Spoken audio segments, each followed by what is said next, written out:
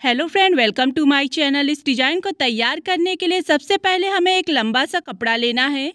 कपड़े की लंबाई हमने साढ़े उनतीस इंच ली है और इसकी चौड़ाई हमने सात इंच ली है। डिज़ाइन को परफेक्ट शेप में बैठाने के लिए हमने कपड़े के ऊपर ऐसे बाकरम को चिपका दिया है। अब हमें यहाँ से कपड़े को ऐसे फोल्ड करना है और हाफ़ इंच की दूरी पे हमें ऐसे एक बराबर में सीधी सिलाई चला देनी है। इस तरीके से आप इस डिज़ाइन को इजी स्टेप में तैयार कर सकते हैं। फिर से हम कपड़े को यहाँ पर ऐसे फोल्ड करेंगे और हाफ़ इंच की दूरी पे हम एक बराबर में सीधी सिलाई चला लेंगे। अगर आप हमारे चैनल पे नए हैं और रोज़ाना एक नई डिज़ाइन की वीडियो देखना चाहते हैं तो प्लीज़ चैनल को सब्सक्राइब करके घंटे को बजाकर आल का ऑप्शन सेलेक्ट करें, जिससे हमारी नेक्स्ट वीडियो की नोटिफिकेशन मिलती रहेगी। बिल्कुल इसी तरीके से फ्रेंड हमें थोड़ी थोड़ी दूरी पे कपड़े को ऐसे फोल्ड करके लंबी लाइन वाली डिज़ाइन बनाकर कपड़े में तैयार कर लेनी है। तो ये देखिए, हमने पूरे कपड़े में लंबी लाइन की ऐसी डिज़ाइन बना ली है।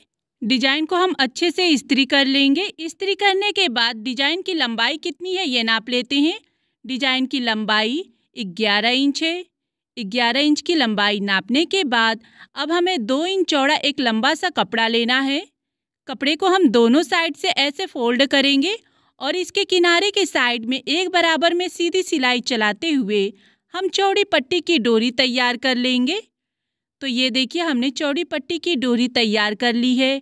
अब हमें इसकी कटिंग करनी है तो उसके लिए हम दो इंच की लंबाई नापेंगे और यहाँ से कट कर लेंगे। सेम साइज़ का हमें ऐसी ढेर सारी चौड़ी पट्टी की कटिंग कर लेनी है। हमने ऐसी ढेर सारी चौड़ी पट्टी की कटिंग कर ली है। अब हमें चौड़ी पट्टी को डिज़ाइन में यहाँ पर लगाना है। ये देखिए, डिज़ाइन के किनारे की साइड में चौड़ी पट्टी को ऐसे फोल्ड करके लगाएँगे और इसके ऊपर सिलाई चला लेंगे। एक के बाद एक थोड़ी थोड़ी दूरी पे हमें चौड़ी पट्टी को ऐसे फोल्ड करके लगाते जाना है और किनारे की साइड में एक बराबर में सीधी सिलाई चला लेनी है। इस लाइन को कंप्लीट करते हुए अब हम यहाँ से धागे को कट कर लेंगे। हमारी ये लाइन कंप्लीट हो चली है। डिज़ाइन के लंबाई और चौड़ाई के बराबर हमें एक कपड़ा लेना है। कपड़े को हमें डिज़ाइन के ऊपर ऐसे लगाना है और इसके किनारे के साइड में एक बराबर में सीधी सिलाई चला लेनी है।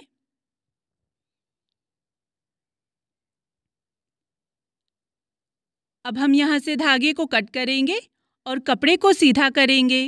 डिज़ाइन को परफेक्ट शेप में बैठाने के लिए हम कपड़े के ऊपर की साइड से भी एक बराबर में सीधी सिलाई चला लेंगे।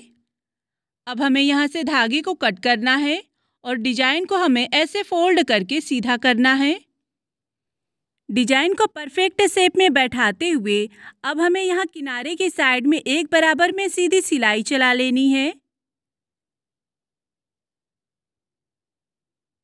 यहाँ से हम धागे को और एक्स्ट्रा कपड़े को कट कर लेंगे। एक्स्ट्रा कपड़े की कटिंग करने के बाद अब हमें चकोर शेप में कटा हुआ ढेर सारा कपड़ा लेना है, जिसकी लंबाई और चौड़ाई दोनों साढ़े तीन इंच है। कपड़े को ऐसे फोल्ड करके हमें डिज़ाइन बनाना है और यहाँ किनारे की साइड में ऐसे लगाना है। अब हम इसके ऊपर सिलाई चला लेंगे। एक के बाद एक सारे कपड़े को हम बिल्कुल इसी तरीके से फोल्ड करते जाएँगे और यहाँ किनारे की साइड में लगाकर इसके ऊपर हम सिलाई चला लेंगे। अभी तक आपने हमारे चैनल को सब्सक्राइब नहीं किए हैं तो प्लीज़ हमारे चैनल को सब्सक्राइब करके घंटे को बजाकर आल का ऑप्शन सेलेक्ट करें, जिससे हमारी नेक्स्ट वीडियो की नोटिफिकेशन मिलती रहेगी। इस लाइन को कंप्लीट करते हुए अब हम यहाँ से धागे को और एक्स्ट्रा कपड़े को कट कर लेंगे। एक्स्ट्रा कपड़े की कटिंग करने के बाद फ्रेंड हमें आस्तीन का कपड़ा लेना है। आस्तीन की लंबाई हमने साढ़े बारह इंच ली है और इसकी चौड़ाई कितनी है, ये नाप लेते हैं। आस्तीन की चौड़ाई हमने साढ़े उन्नीस इंच ली है। आस्तीन की लंबाई फ्रेंड आप अपने हिसाब से छोटा बड़ा कर सकते हैं। आस्तीन के कपड़े में, यहाँ किनारे की साइड में, हमें छोटे छोटे चूनट बना लेने हैं। एकदम छोटे छोटे वाले हमें चूनट बनाने हैं।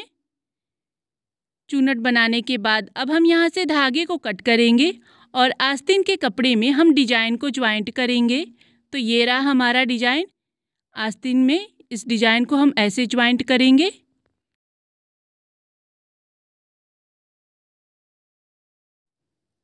आस्तीन के कपड़े को डिज़ाइन में ज्वाइंट करने के बाद फ्रेंड, अब हमें यहाँ से एक्स्ट्रा कपड़े को कट कर लेना है। एक्स्ट्रा कपड़े को कट करने के बाद अब हम डिज़ाइन को सीधा करेंगे। तो ये देखिए फ्रेंड डिज़ाइन की सिलाई करने के बाद हमारे डिज़ाइन का लुक कुछ इस तरीके का आएगा, लेकिन इस डिज़ाइन को और भी सुंदर बनाने के लिए हम इस डिज़ाइन में मोती को लगाएँगे। हमने व्हाइट कलर का बड़े साइज़ में मोती लिया है। मोती को सुई धागा के मदद से चौड़ी पट्टी के बीच बीच में ऐसे लगा देना है। वैसे आप मोती का कलर आप अपने पसंद के अनुसार ले सकते हैं।